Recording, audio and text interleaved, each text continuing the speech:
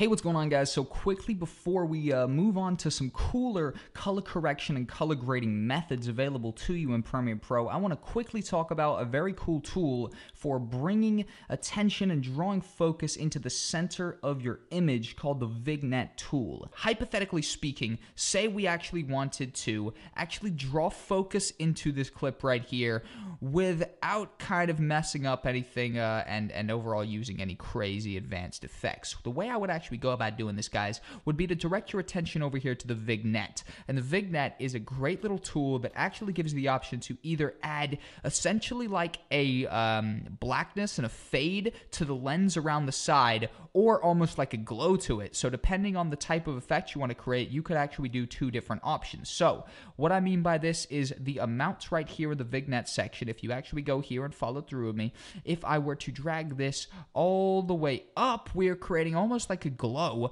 and a, uh, a, a glow to the focal point, aka the center of the screen.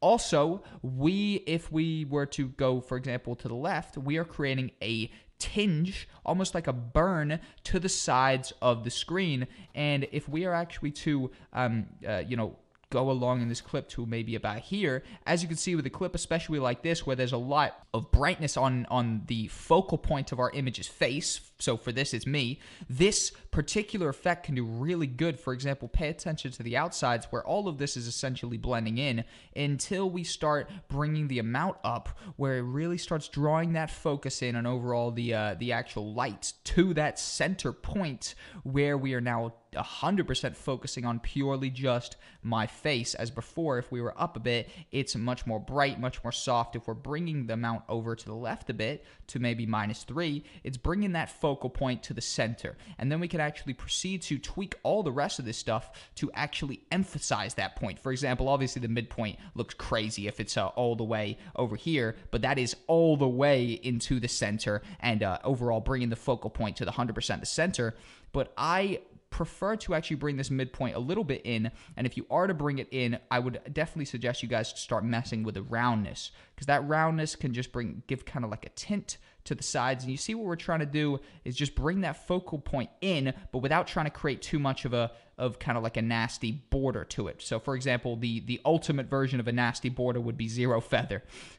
so right there it literally looks just like some binoculars or something like that zoomed in on my face, but the really nice balance here and how we can actually kind of create a seamlessness between clips and overall kind of like a blend to the outside of it is by actually just tweaking the feather, tweaking the roundness, and overall just kind of leveling up this to actually be um, kind of like a, uh, a, a draw to the middle, but without too much kind of emphasis on it. So, for example, that would be my idea of way too much emphasis on it, but bringing it out all the way over here would be my idea of actually just bringing the focal point and overall the attention bringing that directly into the center of the shot. So if we were to turn off the vignette right away you can see a huge change even though you might not have even noticed that in the build up of us tweaking all that where actually the image is a, a, lot plainer. We could give this a play right here and it's a much plainer image. And then if we were to literally just bang on that focal point right there so for example if we were to come to a much brighter area